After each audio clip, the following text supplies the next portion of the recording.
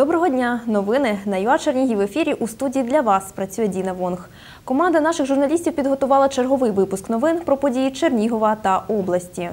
Після зростання ціни газу для населення на 23,5% генеруючі компанії Чернігова планують переглянути тарифи на тепло. Як розповів голова правління облтеплокомуненерго Віктор Геращенко, це зумовлено тим, що вартість газу є складовою тарифів на теплопостачання. Попередньо ціна однієї гігакалорії для споживачів цієї компанії збільшиться на 21%. Вартість зміниться десь близько до 300 гривень на одній гігакалорії. На сьогоднішній день е, е, коштує 1504 гривні. Максимально з 1 січня 2019 але хочу сказати, що якщо це буде зроблено, то підприємство втратить біля 30 мільйонів гривень. Або зроблять е, коригування з 1 листопада. Це буде автоматично е, національною комісією. Нема ще документа по підвищенню, тобто нема постанови Кабінету міністрів щодо, щодо вартості е, природного газу. Є тільки публічні заяви, як кажуть, Кабінету міністрів прем'єра, але папірця ще нема. За розрахунками Чернігівської ТЕЦ для їхніх споживачів сума в платіжках за опалення попередньо збільшиться до 10%. Це зумовлено тим, що підприємство споживає інші види палива, окрім природного газу.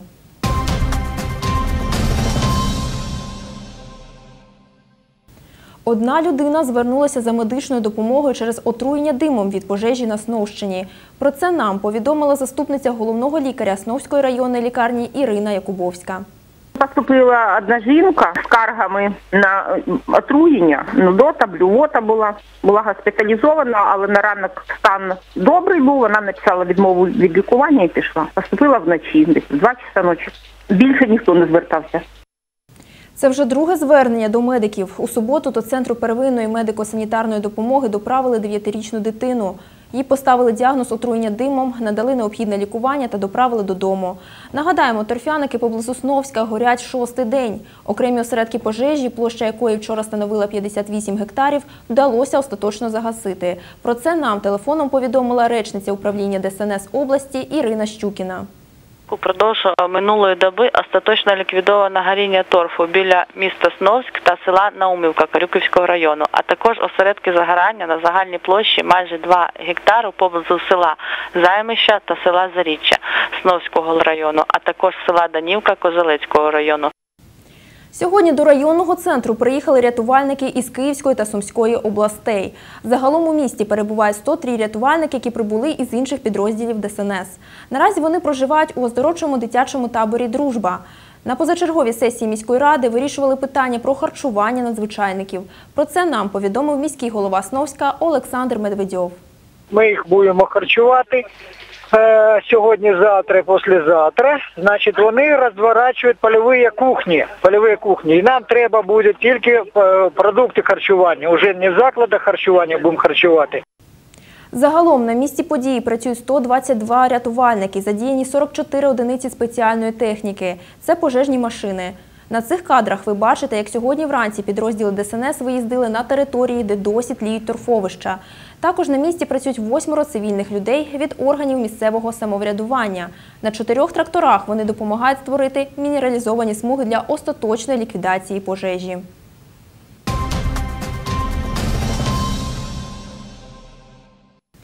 Двадцятирічна чернігівка Марина Грицик прихистила в себе коня з Дніпра, якого збиралися здати на м'ясо.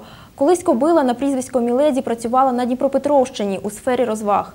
Колишні власники не мали змоги її утримувати та полишили на два тижні закритою, без води та їжі. Знесилену тварину збирали здати на м'ясо. Марина ж викупила її та забрала до себе. Зараз у дівчини живе 25 врятованих тварин. Історії їх порятунку розповість Анастасія Лоза. Ця кобила на прізвисько Міледі тиждень тому стояла закритою в гаражі без води та їжі. Эта лошадка раньше катала туристов в Днепропетровской области. То есть э, потом, когда у ее хозяев случилось так, что они больше не могли ее достойно содержать, они ее закрыли просто в гараже и уехали оттуда. Э, Она была закрыта около двух недель без еды, без воды, пришла вот в такое ужасное состояние. Господарі хотіли здати її на м'ясо. Марина Грицик викупила Міледі у господарів за 12 тисяч гривень та перевезла до себе у село Рябці Чернігівського району. Я просто, глядя в ее глаза, я не могла пройти мимо этой ситуации. Мы собрали, практически дособирали эту сумму э, и забрали эту лошадку. Тоже влезли в долги, чтобы это все оплатить, э, чтобы ее перевести. Она ехала к нам 14 часов. Тричі на день Марина чистить кобилі хворі копита та мастить їх спеціальною сумішю. У нее копыта в таком состоянии, потому что она очень много ходила по асфальту в упряжи. Она была не кованая какой-то период времени. И из-за этого у нее копыта очень сильно потрескались. У нее полностью сгнила копытная стрелка. В общем, чтобы она пришла в нормальную форму, то уйдет не один и не два года. Марина тренер з кінного спорту. Зараз в неї четверо вихованців. Жеребця Гранда, як і Міледі, Марина викупила у м'ясника. Лежать. Давай, давай, давай. Молодец. Молодец, мой мальчик. Молодец, мой хороший. Її вихованці вміють лежати, сидіти, приносити речі та навіть усміхатися за командою. Улыбнись. Вот так, давай еще. Хорошая. Молодец. Молодец. Рік тому дівчина зі своєю матір'ю та хлопцем переїхала у село та заснувала тут, як сама його називає, зоодім. Під час інтерв'ю нас постійно переривають. Все, давай, давай. Собак у зоодомі семеро. Це глухий трирічний далматинець Остін.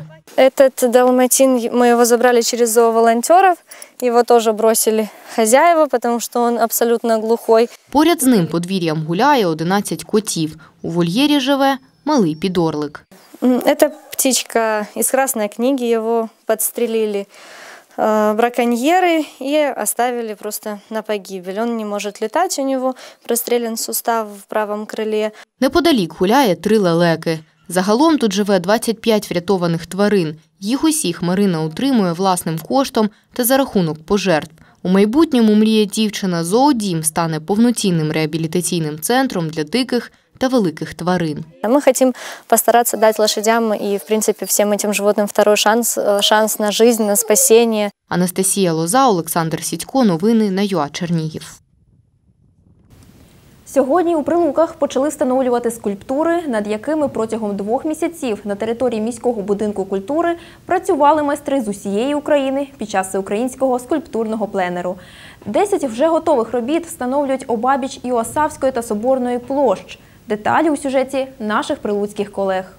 Скульптури із пісковика займають свої місця. Прилучани біля них фотографуються. Приходять сім'ями і поодинці. Облагородилося наше місце, дуже гарні скульптури. Ми й там воно бачили, ставлюють. Ну сюди ще зовсім не дійшли. Ну дитині подобається. Ну так стало зразу презентабельніше місце. Можна хоч пройтись яку культурну до Європи ж стремимося. Я думаю, обов'язково треба для, для прилук.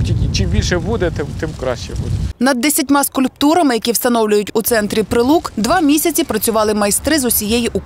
В місті проходив всеукраїнський скульптурний пленер. В скульптурах відображена історія міста Прилуки, зокрема е, його приналежність і до трипільської, до черняхівської культури. Окрім того, є скульптурні композиції, які присвячені власне е, козацькій тематиці. Е, Наш і пов'язано безпосередньо це з історією. Нашого міста, а також це е, тематика духовна, це тематика релігійна, це е, охоронці нашого міста, янголи, це відповідно е, пізнання себе як людини, частини безумовно всього всесвіту. Михайло Горловий показує свою скульптуру богині родючості. Я взяв якраз найдавнішу історію, цю культуру історичну таку прилук. Це Черняхівська землеробство. Місце прекрасне і зараз скульптури стоять. Звичайно, не всі, ну сьогодні вони будуть всі стоять. Вони прикрашають цю територію, цей парк і збагачують між іншим. І люди йдуть і цікавляться.